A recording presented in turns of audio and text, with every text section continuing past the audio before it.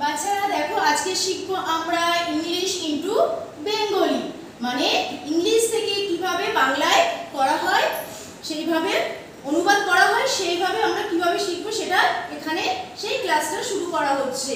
দেখো এখানে কি আছে? W A L K walk walk মানে হাঁটা, তারপরে আছে R U N run run মানে দৌড়ানো। টি এ এল কে টক টক মানে সিট মানে বসা। এইভাবে তোমরা তোমাদের বাড়ির খাতায় বা সিডব্লিউ কপিতে বা এসডব্লিউ কপিতে লিখবে এবং বারবার অভ্যাস করবে।